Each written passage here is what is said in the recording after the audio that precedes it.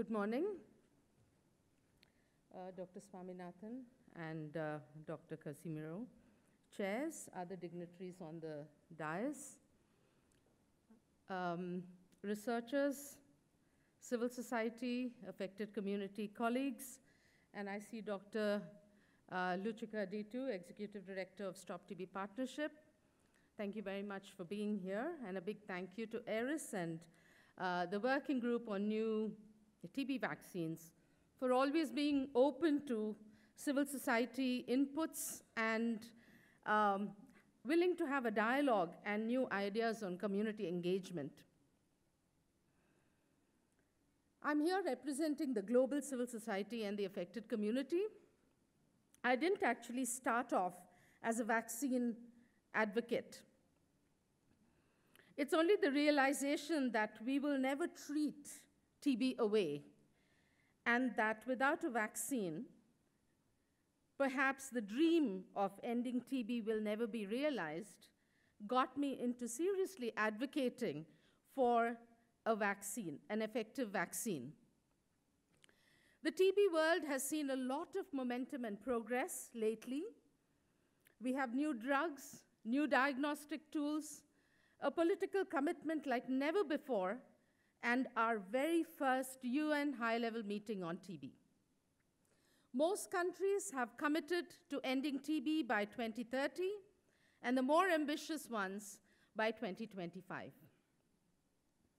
However, a recent KPMG report using WHO figures states that at the current rate of progress, the SDG's target of eliminating TB by 2030 will be missed by 150 years.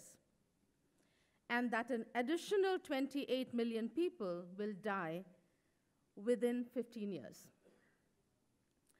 Tuberculosis, as we all know, has cost the world economy $600 billion in the past 15 years, from 2000 to 2015.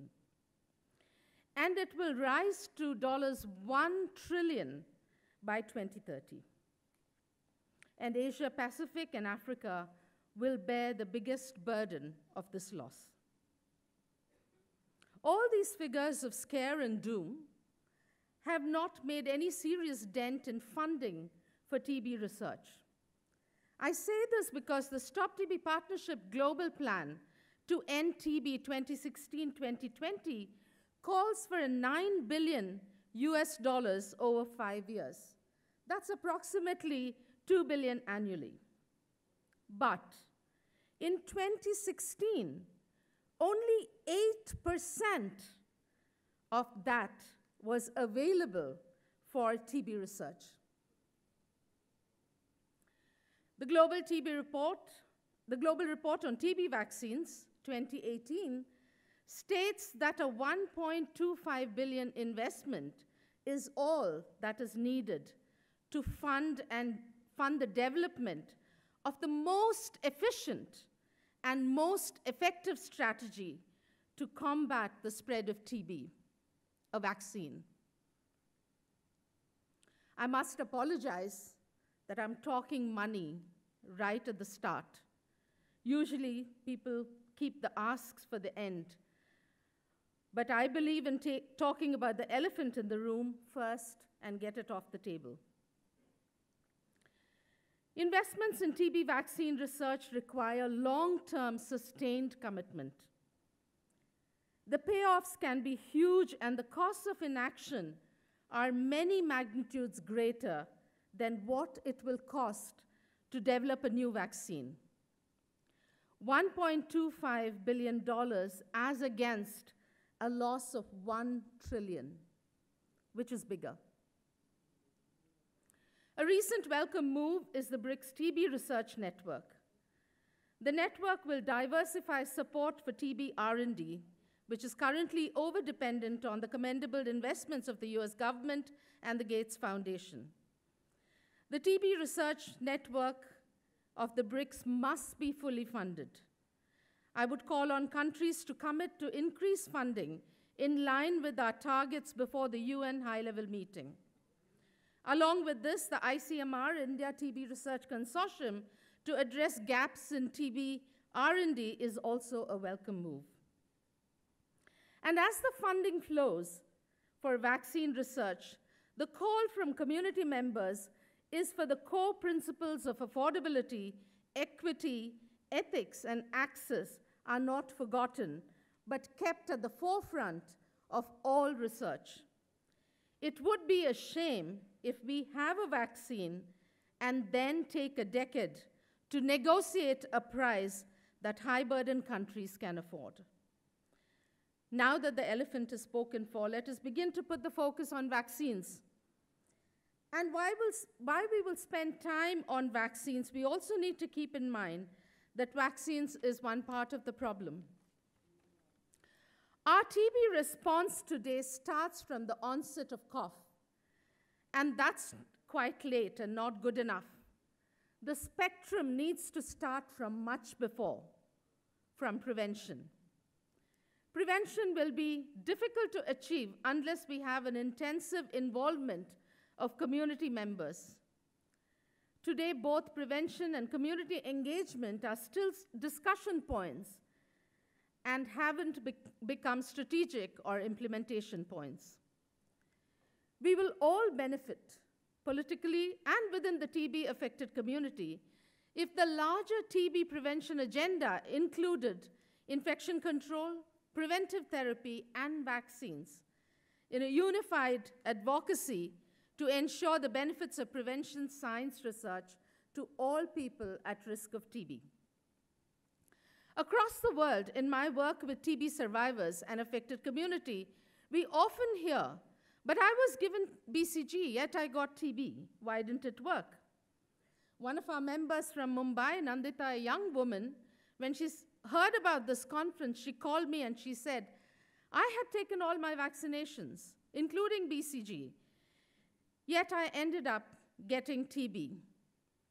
BCG does not work well after a point. The result, I had intestinal TB twice and ended up becoming deaf, affecting my speech abilities for no fault of mine. We need political commitment to find a specialized vaccine for TB urgently.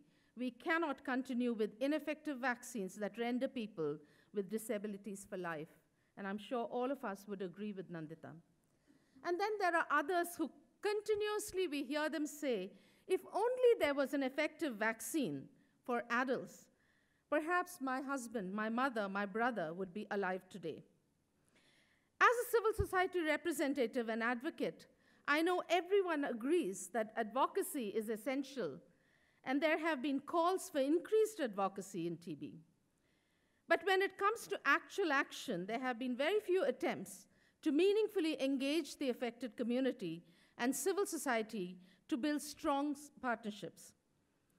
Inclusion of representatives from the community in science, planning, monitoring, and governance is extremely important.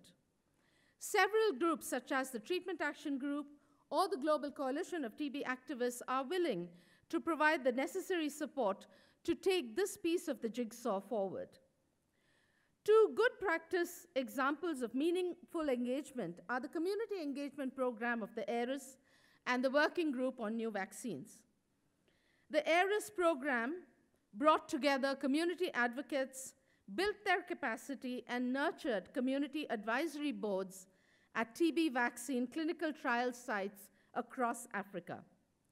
The working group on new vaccines has for the past year established and implemented the Vaccine Advocates Program, building the capacity of selected advocates from across the globe to understand research and development. These advocates are here today at the conference and will be respondents contributing to the sessions over the next few days. We had a very successful workshop yesterday with the advocates, continuing the capacity building pr process. We had great presentations by the researchers. The agreement at the end of the day was that it is important and possible for researchers and advocates to work together. The group identified many opportunities for this in the coming months, starting with this global forum. The Good Participatory Practice Guidelines for TB Vaccine Research, developed by Aeras, has practical guidelines in place to help researchers and scientists envision, structure, and operationalize community engagement. This advocacy should not fall off the radar or lose the momentum for lack of investment. Funders of TB vaccine research should budget for the support needed for community engagement. TB today has the attention like never before. There are high profile events on TB, such as this, that provide a pivotal platform for countries to take action, to work together, to pledge concrete financial investments in TB R&D, to develop an effective vaccine, to include the affected community, and make the dream of TB-free world a little closer to reality. Thank you very much.